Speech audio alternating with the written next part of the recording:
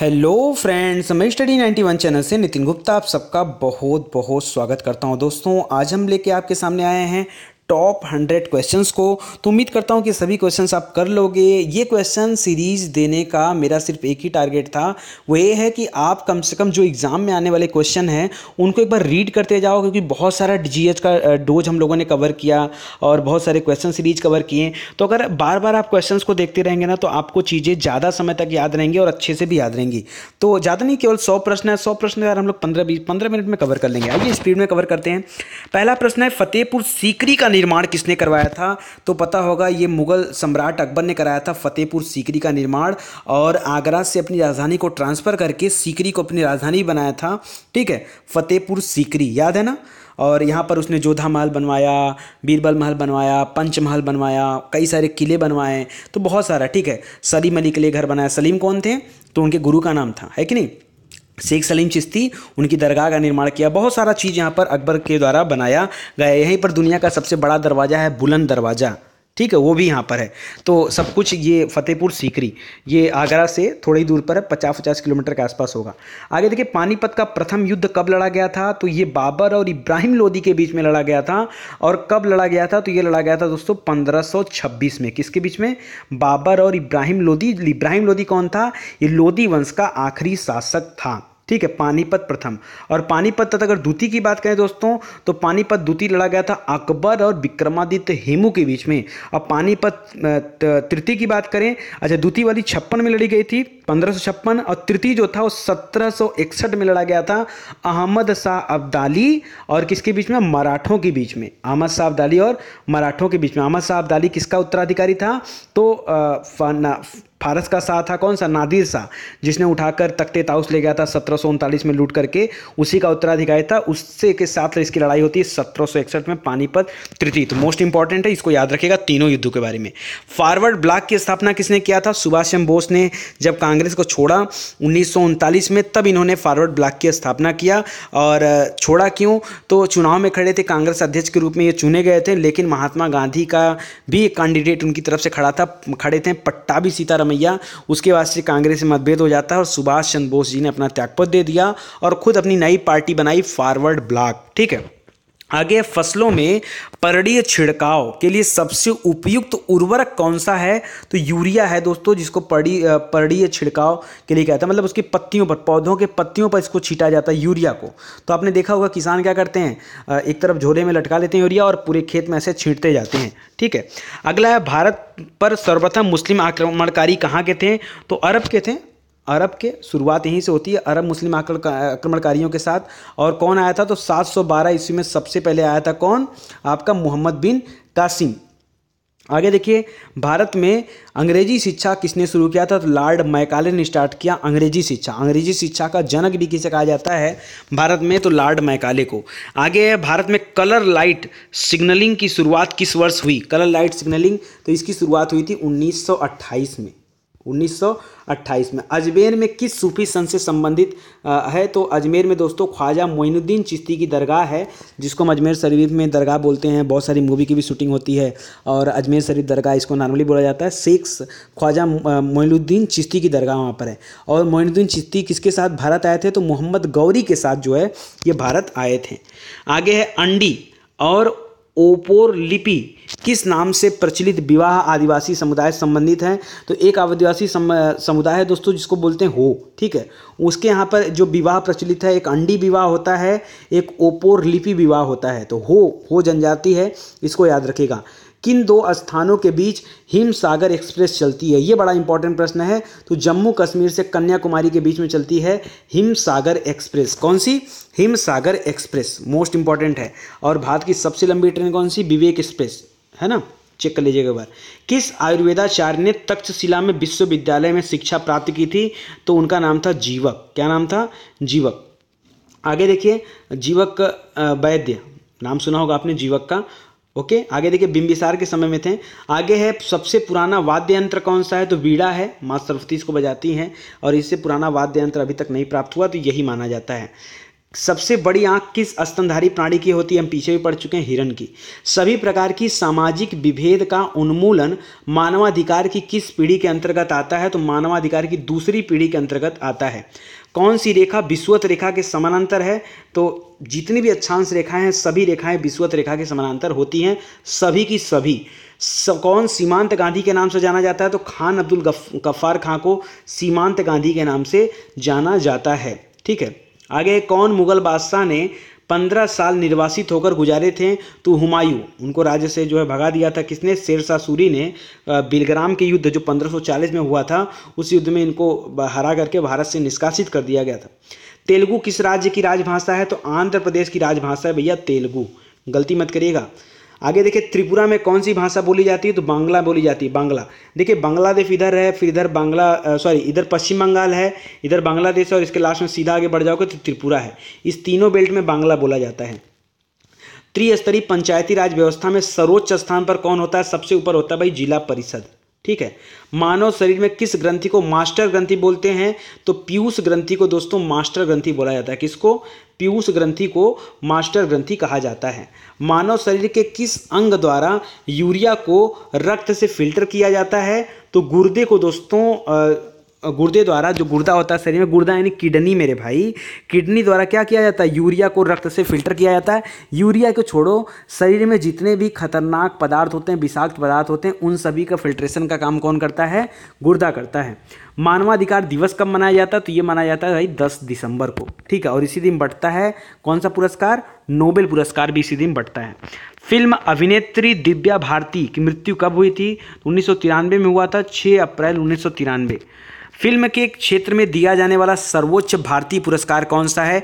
तो दादा साहब फाल्के पुरस्कार, सबसे बड़ा फ़िल्म जगत का पुरस्कार माना जाता है दादा साहब फाल्के। इन्होंने बहुत सारी मूवी की भी रचना किया था, मैंने बताया था। ठीक है, आगे देखिए नेक्स्ट है, एक सेकंड आगे, फुटबॉल में कौन सी गैस भरी जाती है? तो फुटबॉल में भरते हैं हाइड्रोजन गैस, ताकि वो हल्का होता है सबसे ना तो वो भरा जाता है। हालाँकि अब हाइड्रोजन कहाँ भरा जाता है? नॉर्मल कोई भी गैस डाल देते हैं लोग फुटबॉल में। भारत तेल क्षेत्र के लिए सर्वाधिक प्रसिद्ध स्थान कौन सा है? तो डिगबोई, असम। असम में एक जगह है डिगबोई। वो भारतीय तेल क्षेत्र के लिए सबसे प्रसिद्ध है। अभी तो हाल ही में एक क्षेत्र मिला है दोस्तों महाराष्ट्र में। महाराष्ट्र मतलब जो मुंबई में, हाई। उसका नाम क्या है? हाई। ठीक है? हाई। ये सबसे बड़ा तेल क्षेत्र मिला है। भारत दक्षिण भारत का दक्षिणतम बिंदु इंदिरा पॉइंट ये कहाँ पर स्थित है? तो ये बड़ा निकोबार जो है वहाँ पर स्थित है। नॉर्मली तो हम बोलते हैं अंडमान निकोबार, लेकिन अंडमान में नहीं है, वो है निकोबार में, और निकोबार भी दो तरह का होता है, एक छोटा निकोबार, एक बड़ा निकोबार। तो ये इंदिरा पॉइंट जो है बड़ा निकोबार में स्थित है। आगे भारत द्वारा प्रक्षेपित पहला उपग्रह कौन था? तो आर्यभट्ट नाम से पहला उपग्रह भारत ने प्रक्षेपित किया था, वो भी रूस सब स्टेशन से। फोर्ब्स किस ग्रह का उपग्रह है? तो मंगल ग्रह का नाम है, मंगल ग्रह के उपग्रह का नाम है फोब्स ठीक है? अरे फोबोस डिमोस, फोबोस को फोब्स बोलते हैं, शॉर्टकट में। फोबोस डिमोस पढ़ा आपने? आगे है, फ्रिज में कौन सी गैस होती है? तो फ्रिज में अमोनिया एन एच थ्री भरी होती है, अमोनिया गैस होती है। बहुत सारी गैस होती है फ्रिज में। आगे, फ्रेंडशिप 2016 क्या है? ये रूस और पाकिस्तान के सैनिकों द्वारा किया गया संयुक्त अभ्यास का नाम है फ्रेंडशिप 2016 वेदों की ओर लौटो का नारा किसने दिया था? तो दयानंद सरस्वती ने दिया था, ठीक है? और दयानंद सरस्वती की सबसे प्रसिद्ध किताब कौन सी है? संवाद कौमुदनी, कौन सी है? बताइए। दयानंद सरस्वती। दयानंद सरस्वती ने किस, किसके स्थापना किया है? आर्य। आर्य सभा की ना? आर्य समाज की स्थापना किया है। आगे देखिए, शाहनामा किसकी कृति है? तो फिरदौसी ने लिखा था शाहनामा। पढ़ाई में सब साइंस का क्वेश्चन है। इंकलाब जिंदाबाद का नारा सर्वप्रथम किसने दिया था? तो सरदार भगत सिंह ने दिया था। ठीक है? और इंकलाब शब्द का इस्तेमाल सबसे पहले इकबाल ने किया था। इंटरपोल का मुख्यालय कहाँ पर है? तो भी मैं आपको पढ़ा चुका हूँ। पेरिस में है मुख्यालय। हॉकी खेल में प्रत्येक टीम में कितने खिलाड़ी होते हैं? तो हॉकी में ग्यारह ग्यारह प्लेयर होते हैं। होरमुज जल संधि किन दो देशों को अलग करती है? तो ईरान और ओमान को अलग करती होरमुज जल संधि और जब मैं आपको यूरोपियों का आगमन पढ़ा रहा था तो बताया था कि होरमुज जो है, वहाँ पे जो बंदरगाह था, उस पर अंग्रेज़ों ने अधिकार कर लिया था। याद है? 1522 में। ठीक है? आगे, होलिका दहन के समय कौन सा अनाज जलाया जाता है तो उसके साथ जौ जलाया जाता है। जौ। अगला है, किसके जन्म दिवस को खेल दिवस के रूप में मनाया जाता है? तो उनतीस अगस्त को, दोस्तों, मेजर ध्यानचंद, इनको, हॉकी का जादूगर भी कहा जाता है। उनके जन्म दिवस के अवसर पर खेल दिवस मनाया जाता है और उसी दिन फिर अर्जुन पुरस्कार भी बांटा जाता है। किसके नेतृत्व में सत्रह छिहत्तर में अमेरिका को स्वतंत्रता प्राप्त हुआ? तो जॉर्ज वाशिंगटन के नेतृत्व में अमेरिका को स्वतंत्रता प्राप्त हुआ था सत्रह छिहत्तर में। किसके शासनकाल के दौरान मराठा सत्ता सर्वोच्च शिखर पर थी और वो थी सर बालाजी बाजीराव के समय में, बालाजी बाजीराव ग्रामीण स्वच्छता सर्वेक्षण के अनुसार स्वच्छता के मामले में सबसे ऊपर कौन सा राज्य है? तो सिक्किम और बदलता भी रहेगा। ग्रीन पीस क्या है? तो पर्यावरण संरक्षण से जुड़ा एक अंतर्राष्ट्रीय संगठन है, जिसका नाम है ग्रीन पीस ग्लोब पर दो स्थानों की न्यूनतम दूरी कहाँ पर होती? है तो जो प्रधान देशांतर हैं कि सॉरी, ग्लोब पर दो स्थानों की न्यूनतम दूरी होती है प्रधान देशांतर पर। ठीक है? प्रधान, जो देशांतर रेखा है, ठीक है, वहाँ पर। तो अगर आप एकदम उत्तरी ध्रुव में चले जाओगे तो वहाँ सबसे कम दूरी होगी। जैसे जैसे आप आओगे, सबसे अधिक दूरी बोलना चाहिए। तो जो ज़ीरो डिग्री लाइन गई, वहाँ पर सबसे अधिक दूरी होती है। इसको देख लीजिएगा एक बार। आगे है फोर्टी सिक्स क्वेश्चन है, भारत का राष्ट्रीय पक्षी कौन सा है? तो मोर है। भारत का राष्ट्रीय पति राष्ट्र राष्ट्रपति त्यागपत्र किसे, राष्ट्रपति होता है यार राष्ट्रपति नहीं। ठीक है। राष्ट्रपति अपना त्यागपत्र किसे दे सकता है? तो उपराष्ट्रपति को देता है। और उपराष्ट्रपति किसको देता है? तो राष्ट्रपति को देता है। राष्ट्रीय पशु कौन सा है? तो शेर मत कहिएगा, बाघ है। ठीक है। लूड़ी नदी, लूणी नहीं होता है एक्चुअली में लूनी नदी है। लूनी नदी कहाँ पर बहती है? तो राजस्थान में बहती है। और यह ऐसी नदी है जो बहते बहते तो जाती है, लेकिन कच्छकरण में विलीन हो जाती है, किसी सागर में जाके मिलती नहीं है। आगे लॉर्ड वेलेजरी के साथ सबसे पहले सहायक संधि किस राज्य ने किया था? तो हैदराबाद के निज़ाम ने सबसे पहली सहायक संधि किया लॉर्ड वेलेजरी के साथ। सहायक संधि के मामले में इसको शेर भी कहा जाता है। लोकसभा का चुनाव लड़ने के लिए न्यूनतम उम्र कितनी होनी चाहिए? तो लोकसभा के लिए भाई 25 वर्ष होनी चाहिए और राज्यसभा के लिए 35 वर्ष होनी चाहिए। उपराज्यपाल उपराज्यपाल यानी राज्यपाल, उपराज्यपाल, राष्ट्रपति, इन सब के लिए कितना होना चाहिए? तो 35 वर्ष होनी चाहिए। नॉन स्टिक फ्राइड कढ़ाई में किसका लेप लगा होता है? टेफलान का लेप लगा होता है। किसका लेप टेफ्लान। निर्जलित व्यक्ति को क्या नहीं पीना चाहिए? एल्कोहल, जिसके अंदर डिहाइड्रेशन की प्रॉब्लम हो। एल्कोहल मत पीने तो ये डिहाइड्रेशन और भी बढ़ जाएगा। नींबू और संतरे में कौन सा विटामिन पाया जाता है? विटामिन सी पाया जाता है। खट्टा है ना? सी आगे है भारतीय सेना के सर्वोच्च सेना कमांडर कौन होते हैं? तो चाहे आप भारतीय सेना में जल, थल, वायु कोई भी हो, सबसे बड़ा कमांडर कौन है? राष्ट्रपति और ऐसा कहाँ लिखा है? अनुच्छेद तिरपन में लिखा है। आगे भारतीय सेना में विजयंत नाम क्या क्या क्या है? तो विजयंत क्या है? एक टैंक का नाम है विजयंत, ठीक है? भारतीय स्वतंत्रता के समय ब्रिटिश सम्राट कौन था? तो जॉर्ज षष्ठम और पंचम भारत आए थे। कब आए थे भारत? जॉर्ज पंचम भारत तब आए थे जब दिल्ली राजधानी स्थानांतरित की गई थी कलकत्ता से। सत्य शोधक समाज की स्थापना किसने किया है? तो महात्मा फूले, ठीक है?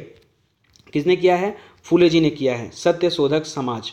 आगे है सर्वेंट ऑफ़ इंडिया सोसाइटी की स्थापना किसने किया? गोपाल कृष्ण गोखले ने किया था nine one nine zero five में। और गांधी जी के राजनीतिक गुरु भी कौन कहे जाते हैं? गोपाल कृष्ण। गोखले, ठीक है? आगे है इंसुलिन का प्रयोग किस बीमारी के उपचार में होता है? तो मधुमेह यानी डायबिटीज़ में किया जाता है इंसुलिन का प्रयोग। डायबिटीज़ में होता क्या है? तो हमारे शरीर की जो बीटा कोशिकाएँ हैं, किसके अंदर? जो अग्न्याशय के अंदर बीटा कोशिकाएँ हैं वो इंसुलिन का श्रावण करना बंद हो जाती, कर देती हैं, जिसकी वजह से व्यक्ति को मधुमेह हो जाता है। Indian national movement the long term dynamics के लेखक कौन है? तो बिपिन चंद्र हैं। बहुत गजब के इतिहासकार हैं, ठीक है, बिपिन चंद्र। आगे हिरोशिमा पर पहला परमाणु बम कब गिराया गया था? तो हिरोशिमा पे था 6 अगस्त 1945 को और नागासाकी पर दूसरा गिराया गया तो 9 से नागा 9 से 9 9 अगस्त 1945 को दूसरा बम गिराया गया था। हीटर के तार किस चीज़ के बने होते हैं? तो नाइक्रोम के बने होते हैं, जिसकी वजह से उसके अंदर टम्परेचर सहन करने की क्षमता होती है। ओके आगे देखिए, हुमायूं नामा की रचना किसने किया है? तो हुमायूं की बहन थी, जिनका नाम था गुल बदन बेगम। उसने लिखा है हुमायूं नामा। किसके शासनकाल में डाइमेकस भारत आया था? तो बिंदुसार के समय में डाइमेकस भारत आया था। डीमेकस कहिए, डाइमेकस कहिए, बात एक ही है। किसको लैंड ऑफ़ गोल्डन पैगोड़ा कहा जाता है? तो म्यांमार यानी वर्मा को लैंड ऑफ़ गोल्ड पैगोड़ा कहा जाता है। ठीक है? लैंड ऑफ़ थंडर थंडरबर्ड किसको कहा जाता है? भूटान को कहा जाता है। और पैगोड़ा स्पेशली किसको बोलते थे? तो बताइए, पैगोड़ा, आप कमेंट करके बताइएगा, मैं पढ़ाया भी हूँ। पैगोड़ा किसको बोलते थे? किसने रानी लक्ष्मीबाई रेजिमेंट की स्थापना किया था? तो सुभाष चंद्र बोस जी ने स्थापना किया था रानी लक्ष्मीबाई रेजिमेंट एक महात्मा गांधी के नाम से भी रेजिमेंट था। घरेलू उपयोग में पाया जाने वाला चीनी पाए जाने चीनी में क्या पाया जाता है? सुक्रोज होता है। सुक्रोज की वजह से क्या होती है? चीनी मीठी होती है। और गन्ने की बात करेंगे तो उसके मिठास का कारण फ्रक्टोज होता है फ्रुक्टोज घाना पक्षी अभ्यारण्य कहाँ पर है? तो ये राजस्थान में है। ठीक है, घाना पक्षी अभ्यारण्य। चंडीगढ़ का रॉक गार्डन बहुत फ़ेमस है और इसको जो है शामिल किया गया है शायद उसमें। सूची में। तो चंडीगढ़ का रॉक गार्डन है, जो सैल उद्यान है, किसने बनवाया था? तो नेक चंद ने बनवाया था। भारत का मैनचेस्टर किसे कहते हैं? फ़िलहाल तो अहमदाबाद को बोलते हैं, लेकिन अगर उत्तर भारत का मैनचेस्टर पूछ देता, तब आप बोलते कानपुर को। भारत का राष्ट्रीय खेल कौन सा है? तो हॉकी है, राष्ट्रीय चिन्ह अशोक चक्र है, और लाल बहादुर शास्त्री का समाधि स्थल क्या कहलाता है? विजय घाट बोला जाता है। ठीक है, शक्ति स्थल किसको बोला जाता है? जहाँ इंदिरा गांधी की दफनाई गई है। ठीक है, विजय घाट। ठीक है और लाल बहादुर शास्त्री को। आगे देखिए, लाल रक्त कड़का यानी आरबीसी जो है, यानी रेड ब्लड सेल्स जो हैं ठीक है? ये हमारे शरीर में किस जगह पर निर्माण होता है? तो अस्थि मज्जा जो बोन मैरो होता है, वहाँ पे इसका निर्माण होता है। लाला लाजपत राय के प्रयासों पर गठित बैंक कौन सा है? पंजाब नेशनल बैंक खोला था। लाला लाजपत राय ने पहला खाता भी इन्हीं का खुला था। नील नदी के किनारे कौन सी सभ्यता का विकास हुआ है? तो मिस्र की सभ्यता का विकास हुआ नील नदी के किनारे, हड़प्पा की सभ्यता का विकास हुआ किसके किनारे? सिंधु नदी के किनारे। नृत्यांगना सोनल मानसिंह किस नृत्य से संबंधित हैं? तो भरतनाट्यम करती हैं। भरतनाट्यम, दक्षिण भारत संबंधित है, आंध्रा। आगे है नेफ्ट, निफ्ट, यानी एफ़ टी, निफ्ट का पूरा नाम क्या है? National electronic funds transfer. Train की ट्रांसफ़र, ठीक है? ठीक है? ट्रेन लिखा हुआ है। कुछ उल्लू लोग कुछ भी लिख देते हैं। भारतीय संविधान के कौन से अनुच्छेद में जिला योजना समिति का गठन होता है? ये अनुच्छेद दो में बताया गया है, जिला योजना समिति का गठन। भारतीय संविधान सभा की प्रारूप समिति के सदस्यों की संख्या कितनी थी? तो कुल सदस्यों की संख्या थी सात, ठीक है? और इसी के हेड कौन थे? प्रारूप समिति के। तो ड्राफ्टिंग कमेटी के डॉक्टर भीमराव अंबेडकर जी। भारतीय सब्ज़ी शोध संस्थान कहाँ पर? ये आया था एग्ज़ाम में पीसेस वाले। बनारस में है सब्ज़ी शोध संस्थान। स्वच्छ भारत कार्यक्रम हेतु केंद्र सरकार ने 6 नवंबर 2015 को उपकर लगाया था। इस उपकर की दर शुरुआत में क्या थी? तो पॉइंट फाइव ज़ीरो परसेंट इनकलाब जिंदाबाद का नारा। भगत सिंह इलेक्ट्रॉन के खोजकर्ता। अरे ईंट पर नाच। ई से इलेक्ट्रॉन, ट से जे जे टॉमसन टॉमसन से थॉमसन याद कर लिए। पर नाच पर से प्रोटॉन हो जाता है, र से रदरफोर्ड और नाच न से न्यूट्रॉन, च से चैडविक। न्यूट्रॉन में चैडविक और गोल्ड स्टीन दोनों लोगों का नाम आता है। इसरो का सौवा मिशन कौन सा था? तो पी सल्वी। ठीक है? आगे है, हिंदू विधि को किसने सर्वप्रथम संहिताबद्ध किया था? तो मनु ने। ठीक है? मनु ने। आगे देखिए, हिमानी ग्लेशियर जो है, ये बर्फ़ का एक विशाल पिंड है। कहाँ पर है? तो हिमालय पर्वत की श्रेणी के सबसे ऊपर की तरफ़ जो है, ये हिमानी ग्लेशियर है।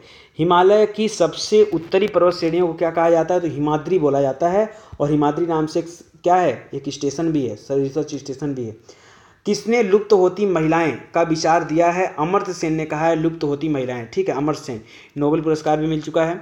आगे है, किसने बाबर को सर ए पुल के युद्ध में पराजित किया था? तो सैबानी खान ने, ये इंपॉर्टेंट प्रश्न है और ये भी मैंने कभी पढ़ा नहीं आपको, इसको भी याद रखिए, किसने बाबर को सर ए पुल के युद्ध में पराजित किया था? तो सैबानी खान ने बाबर को हराया था। किसी पिन का कोड अंक, कोड का प्रथम अंक क्या कहलाता है? तो डाकघर से संबंधित पोस्टल जोन की संख्या होती है पिन का कोड। आगे है, चंद्र ग्रहण किस कारण होता है? तो पृथ्वी, सूर्य और चंद्रमा जब कभी एक सीध में आ जाते हैं, उसके वजह से चंद्र ग्रहण होता है। ठीक है? आगे है, आपका हाँ देखिए आगे है, करा चक्रीय निर्धन कौन कहलाता है? जो अधिकांश समय धनी रहते हैं, पर यदा कदा निर्धन हो जाते हैं, उनको बोला जाता है चक्रीय निर्धन। चना किस फल के अंतर्गत आता है? तो दलहनी फलों के अंतर्गत आता है चना। चना की दाल होती है ना तो दलहन हो गया। भारत का पहला मोबाइल बैंक कौन सा है? लक्ष्मी वाहिनी बैंक। ये खारगोन जिला मध्य प्रदेश में लगाया गया पहला मोबाइल बैंक। भारत का प्रथम गवर्नर जनरल कौन थे? तो लॉर्ड प्रथम गवर्नर जनरल पूछ रहा है तो विलियम बेंटिक, ठीक है वायस राय पूछता, लॉर्ड कैनिंग, स्वतंत्र भारत के प्रथम गवर्नर जनरल मतलब गवर्नर या वायस राय कौन था तो कौन सा, माउंट बेटन, और भारतीय कौन थे तो चक्रवर्ती राजगोपालाचारी, सब याद रखिए। भारत का महान ज्येष्ठ व्यक्ति, यानी grand old man of India किसको बोलते हैं वयोवृद्ध व्यक्ति, ज्येष्ठ व्यक्ति, बड़े व्यक्ति, बूढ़े व्यक्ति, सब बोला जाता है दादा भाई नरोजी को। आगे, लक्षद्वीप की राजधानी कहाँ पर है तो कवरत्ती, करवती नहीं, कवरत्ती है। लक्षद्वीप में कौन सी भाषा बोली जाती है? तो क्योंकि केरल का पार्ट है, ठीक है तो इसको बोला जाता है मलयालम। और ये जो है, केरल हाईकोर्ट के अंडर भी आता है। तो आज के लिए सौ प्रश्न ऐसे ही रिवाइज कर लीजिए, बस ऐसे ही बस मूड किया, दे दिया आपको, ठीक है। तो रिवीजन ज़रूरी होता है, अगर पढ़ते जाओगे दस बीस मिनट दे के क्या करोगे? दस बीस मिनट देखोगे कुछ सीख जाओगे, रिविजन तो हो जाएगा आपका। तो चलिए बहुत बहुत धन्यवाद आपका। किसी तरह का एडवर्टीजमेंट आया मेरे भाई तो प्लीज़ इसको स्किप मत करिएगा, यही मेरी तमन्ना रहती है। बाकी जो लोग पहली बार विज़िट कर रहे हैं, वो लोग क्या करें, आप लिस्ट में आ जाओ। यहाँ डिटेल में हर एक विषय को पढ़ाया गया है। आप आके जो विषय चाहो, वो विषय पढ़ सकते हो। तो क्वेश्चन आंसर प्रैक्टिस कर रहे हैं, ताकि जो है, चीज़ें हमारे दिमाग में फ़ीड रहें। ठीक है thank you thank you so much